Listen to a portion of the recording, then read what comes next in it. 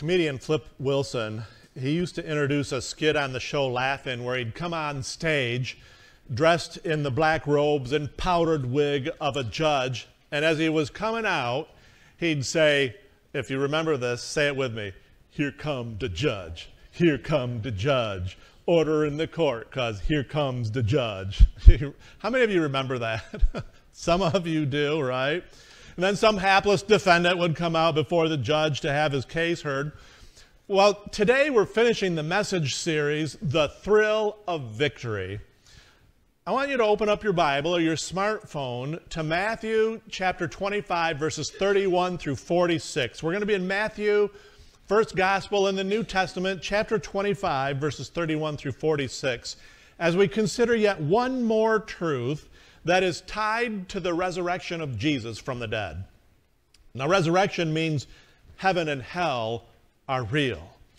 And the Bible teaches us that there will come a time when our resurrected Lord will return to this earth to usher in eternity, and he will preside over the court of final judgment. And in Matthew chapter 25, verses 31 through 46, we see Jesus. He's sitting on his throne. He is serving as the sovereign judge over everyone who ever lived. Jesus depicts this as a time when the sheep will be separated from the goats. Now, we're not referring to literal farm animals here, but he is pointing to the time when all people from around the world will somehow, some way be brought before him alive and fully conscious conscious for a time of final judgment. You know, it's popular to watch courtroom drama these days, shows like Judge Judy or People's Court. How many of you ever watched those judge shows? You know, those can always be kind of interesting, even kind of hilarious, sometimes kind of cringe-worthy. But, but then, how many of you are familiar with all the ridiculous drama of the divorce and defamation proceedings between Johnny Depp and Amber Heard? You know, I mean, I don't bring this up to make fun of them or to be judgy, but it's just been in the news a lot lately. All the drama going around with that and uh, the sordid details of violence and horrible behavior and video footage of these ugly and embarrassing arguments going on between them. He's suing her for $50 million. She's suing him for $100 million. On a more serious note, who's not aware of the controversy and uproar surrounding the leaked U.S. Supreme Court draft opinion pertaining to Justice Samuel Alito's statement on the Mississippi abortion case, which could overturn Roe versus Wade at that federal level. Doesn't necessarily outlaw abortion, but it would leave the decision about this issue up to the states to decide. And, and, and, people debate whether or not the unborn are human life that should be protected or whether the issue is a matter of choice about controlling one's own body. The courts are making important decisions that affect our lives all the time, aren't they? Their judgments impact us, their judgments influence what goes on in our culture. There will be, however, no more important time of judgment than that which will occur at the end of time as we know it. When Jesus returns, final judgment and eternity are ushered in. Matthew chapter 25, verses 31 through 33 says, when the Son of Man comes in his glory and all the angels with him, he will sit on his glorious throne. All the nations will be gathered before him, and he will separate the people from one another as a shepherd separates the sheep from the goats. He will put the sheep on his right and the goats on his left. At that time, Jesus will show supernatural discernment.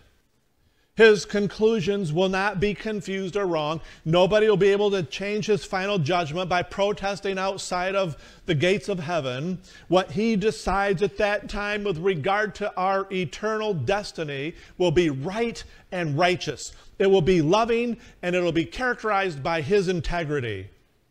As Jesus talks about this final judgment, he notes that his discernment concerns the destinies of sheep, that is, those who know him, and goats, those who do not. Now, Jesus' point is not to say that sheep are somehow more righteous than goats, like sheep are good and goats are bad. He's not picking on goats. He's not saying that they're bad or they're ugly or anything like that. Instead, Jesus is simply creating this image in the mind's eye that people of his day and age would immediately be able to relate to. Palestinian sheep and goats often looked similar from a distance, and they often grazed together during the day. But at nighttime, they needed to be separated because the goats required a warmer place to rest than the sheep.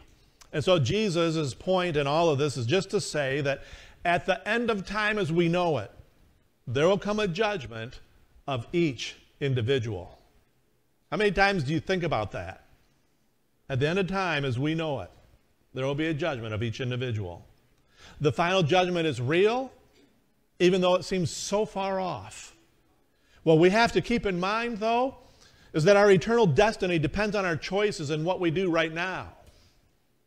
There are one of two places where we end up in eternity according to the Bible. As Jesus talks about this, and he tells us that heaven is the place where followers of Jesus reside. Heaven is. Matthew 25, 34. Then the king will say to those on his right, Come, you who are blessed by my Father, take your inheritance, the kingdom prepared for you since the creation of the world. Heaven is a place of peace and wholeness. It's, it's the place where God is present forever and where sin and its impact are not present. It's the place of our eternal inheritance. It's the place of our eternal reward, of light and completeness. All that we have hoped for is now realized. There is no disease or pain there. There's no crippling problems. There's no death. There's no tears. There's no darkness. There is no ending. Scripture tells us that all of these former things that seem so natural to us right now, they will have all passed away. And I think that's an interesting thing to comprehend. Because when we think of pain and we think of suffering and decay and death, we think of that as natural, don't we? Death and dying is natural. And it's part of creation's natural way of cycling through.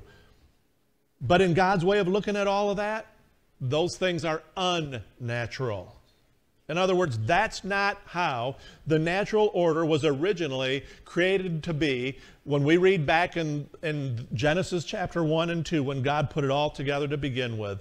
In fact, sin is what messed it all up. And that's why Jesus had to come. That's why Him coming and dying for our sins and rising in the resurrection is so significant and important. And I think it's interesting how we so often get things wrong. You know, we misunderstand the significance of what's going on. We want what we shouldn't have, and we don't want what we should. That's why it's important to see life and all its issues through the eyes of God as best we can through the Bible's message. I heard a story about a couple of guys who were both avid baseball fans, and these guys didn't just like baseball, they lived baseball. They breathed it and ate baseball. And when they weren't at work and all tied up by chores at home, they were either attending a game or they were watching it on TV or they were coaching some little league game out in the park. One day, one of them wondered about whether there would be baseball in heaven, and quite a conversation ensued about that. One guy says, You know, everything's perfect in heaven, isn't it? We'll want for nothing, right? Surely there's going to be baseball in heaven. And they thought about that, and so they wanted to know so badly if there was going to be baseball in heaven that they made this pact with one another that whoever got to heaven first would somehow try to contact the other and let them know for a fact whether they had baseball there. Well, eventually one of the friends did die, and it was a kind of a sad occasion. But a week later, he appeared to his buddy in a dream. And I know that doesn't really happen, but that's for the sake of the story. Just follow along. Week later, his buddy appeared in a dream and he says, Well, you know, I have good news and I have bad news. And the good news is there is indeed baseball in heaven. And, and the guy's ecstatic and he's saying, If that's the case, I can't imagine why there would be bad news. And then his dream continued. The bad news is you're scheduled to pitch this Saturday. Good news and bad news. You know, sometimes we think of heaven as a boring place where there's nothing to do. But from what I can gather about heaven, it comes in two phases. First, before Jesus returns for the final judgment, when we die, our spirit that gives our bodies life, it leaves these broken bodies and it resides in a place where either God is present or where he is absent.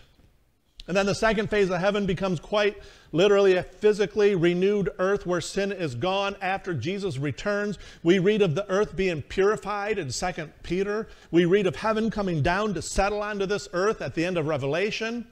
This is the time when our spirit rejoins our newly resurrected bodies at the final judgment, which Paul talks about in 1 Corinthians 15. And just as Jesus became physical in a new way in his body at the resurrection, so will we. And I think there are going to be all kinds of wonderful things to do, like what we do now, only better. Young girl was walking with her dad one evening when the rays of the setting sun were shining across the skies and it was lighting up the clouds in brilliant colors. With more insight than she even realized, she said to her father, Daddy, if the wrong side of heaven is so beautiful, what do you think the right side of heaven will look like? That's a good question, isn't it? I really believe we can't imagine right now how beautiful heaven is going to be and how fun the things are that we enjoy now are going to just be enhanced and the colors and everything else when we get to heaven and God renews things and there's no longer sin impacting and influencing and taking away from the good creation that God had made for us. Take music, for instance. We can't even imagine right now how beautiful music will be in heaven. We listen to our favorite song right now and we think, oh, I don't get any better than this. This song better be in heaven. I'm almost certain that heaven's music is going to be bluegrass and maybe some Celtics thrown in. But honestly, I know that I'm going to be surprised at how much better music will be in God's eternal heaven on a sin free earth. And it's probably going to be all styles, except heavy metal. That probably won't be there. No, I'm just kidding. Or rap. No, I'm just kidding. But seriously, heaven is the place where followers of Jesus reside, whatever the details of it all end up looking like. And always keep in mind, heaven is something we inherit because of our relationship with Jesus. We cannot earn our place in heaven no matter how hard we try. We're, we are undeserving because our sin has already marked us as doomed, right? You know, we, sometimes people go, You're a loser, you know, back in the day. Really, what we have on our foreheads is doomed. We are all doomed for hell, but for the grace of Christ. And it is a gift to us provided by the one who went before us, the one who says he is the way, the truth, and the life, the one who lived perfectly and says to us, It is the kingdom of heaven I've prepared for you. He talks about this mansion, this house, right? Nevertheless, there is a connection between being saved and living like it. In Matthew chapter 25, verses 35 through 40, Jesus says this For I was hungry and you gave me something to eat. I was thirsty, and you gave me something to drink. I was a stranger, and you invited me in. I needed clothes, and you clothed me. I was sick, and you looked after me. I was in prison, and you came to visit me. And then the righteous will answer him Lord, when did we see you hungry and feed you, or thirsty and give you something to drink? When did we see you a stranger and invite you in, or needing clothes and clothe you? When did we see you sick or in prison and go to visit you? And the king will reply, Truly, I tell you, whatever you did for one of the least of these brothers of mine and sisters of mine, you did for me. How do you know a Christian when you see one? You know, Jesus seems to be saying that you look to see how they live. And I don't think he's being creepy. I don't think he's telling us that, you know, we need to troll people and we need to be judgy against them. He's not saying that anyone can somehow earn their way into heaven by doing good things. He's simply saying that we tend to live what we believe, don't we? And we know that's true. It's like how James, the brother of Jesus, would later write in James chapter 2, verses 21 through 26, saying that the Christian's faith and actions work together and are inseparable like two sides of a coin. You really can't have one without the other. James says that just as the body without the spirit is dead, so is faith without deeds dead. Our faith is made complete by what we do. And there is this connection between being saved and living like it. And so we want to live with intentionality in order that we care about the same things and we care about the people that God cares about. And so, why be intentional about that? Because eternity isn't just for people living in heaven. Eternity is also for those who will live in the place where God is not present. Hell is the place where those who reject Jesus' lordship reside. And so in Matthew 25 41, Jesus says, Then he'll say to those on his left, Depart from me, you who are cursed, into the eternal fire prepared for the devil and his angels. We don't like to think about hell, but we dare not ignore it. You know, I still remember the time when I was just a little kid and my aunt was babysitting my brother and me. And she said, I can believe in heaven, but I don't believe in hell because I don't think that a loving God would actually send someone to an awful place like that. And you know, you think about that and it makes sense at first. I wished that were true, but it's not. I can't just accept the parts of the Bible's message that I like and leave out the parts of the Bible's message that I don't like. And this is an interesting verse of the Bible because, in one sense, my aunt, though she's wrong, she might not be all that far off because this verse tells us that hell was not originally intended for people. Do you see that? Hell was not originally intended for people. Who was it intended for? Satan and his angels. Hell was the place prepared for the devil and his angels, is what Jesus says, who rejected him, who rebelled against God. But now the space for hells had to be enlarged because some people have chosen to reject the salvation Jesus offers, and their sin still separates them from God. Those who are cursed will be there in hell. Those who have lived and finished their earthly lives without Jesus, because they didn't want to have anything to do with him, will be residing there. The place where God is absent is not pleasant. This isn't what God wants for anyone, nor does the fact that some reside in hell mean that God doesn't love them. What else can God do for you if you make the decision that He's not going to matter to you? You see, God loves people so much that He put on flesh in Jesus. He died on the cross for the forgiveness of our sins. He rose in the power of the resurrection, showing himself capable of being our Savior. God loves us so much that he prepares heaven as a place where we can live with him forever, according to John 14, verses 1 through 4. And God loves us so much that if we choose not to live with him, or if we choose to not live for him, he's not going to force us to do that. And the place where we can live eternally without him is called hell. 2 Thessalonians 1, verses 8 and 9, Revelation 20, verses 14 and 15. When you reject God's love, His authority and presence, something very hideous starts to happen. You begin to assume the character of Satan who did the same thing, even if you can't see that happening right now. Shane Wood, who was one of the speakers at this year's Michigan Christian Convention, he noted how just as when you drink water or you eat food, you in, what you ingest is what you become. And so, too, that's true for us spiritually. You know, you, you drink water, right? And, and right now, we're two separate things, but I drink water, and what happens? We become one, right? What you ingest is what you become.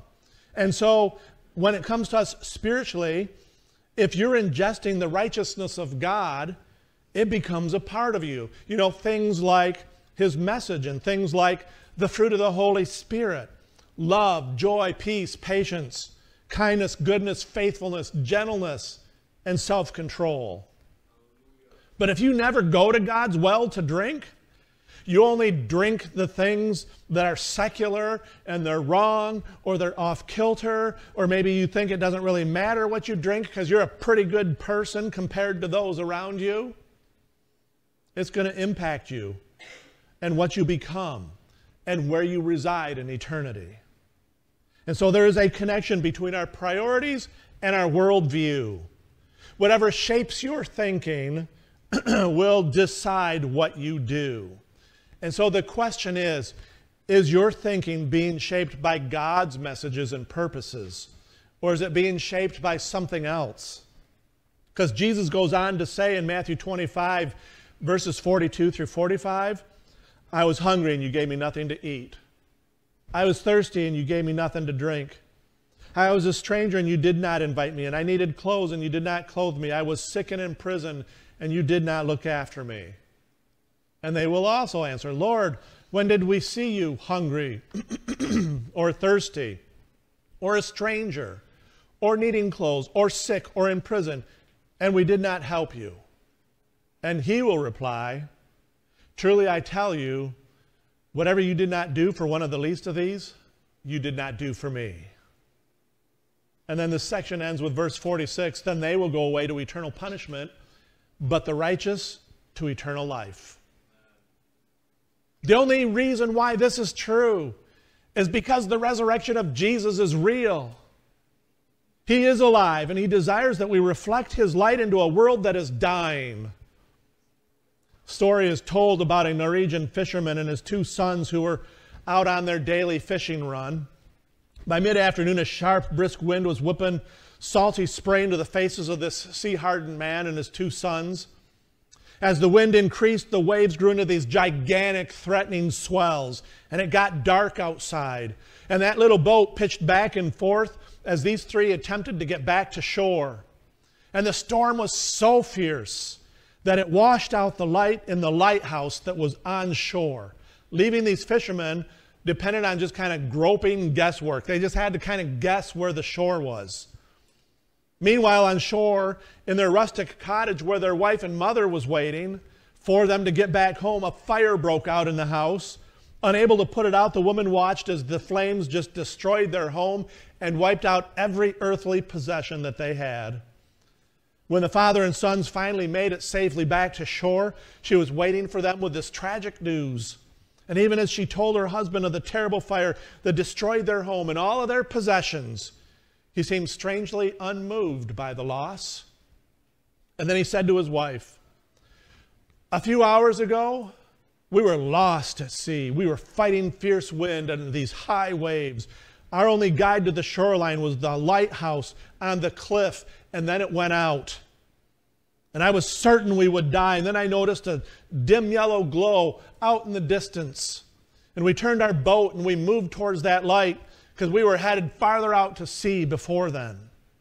And that light grew brighter and brighter, and we followed it safely to the shore. And then he said, You see, Ingrid, that little yellow glow was the first sight of our house on fire. At the peak of the blaze, we could see the shoreline bright as day. The same fire that destroyed our house created a light that saved our lives. My friends, the resurrection of Jesus matters because we're on the sea of life and all the lights are out and our ship is going down. And the only way to get to shore is the light of the resurrection.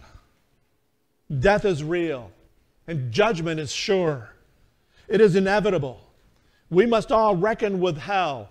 But the good news is this heaven is available to all who believe, who will repent of their sins and turn back to God, who will profess Jesus as their Lord of Lords and King of Kings, and who will be united with Him in the waters of baptism. His resurrection is the light of our future. Through the tragedy of a burning house, a family was saved. Through the tragedy of our crucified Jesus, we have a risen Savior. Amen? Amen? And because He lives, we also live. Let's pray. Heavenly Father, how grateful we are for Jesus, our risen Savior. God, we know that we belong to you because of Him and His work on the cross. We know that we can trust in that message because He resurrected from the dead. He is now alive. And Lord, we give you the glory and the honor for that. And as we depart here today, we just pray that we would go in your strength and in your encouragement, knowing that we are loved by you, knowing that we are your people, and that we are on a journey that takes us to heaven. So, Father, may that make the difference in our lives right now, how we think, our attitudes, how we talk, what we do. May we never be discouraged when hardship comes because we know that Jesus will see us through and he will walk beside us till we are someday safely in your hands. God, we love you. May we go this day with your favor and blessing. In Jesus' name we pray. Amen.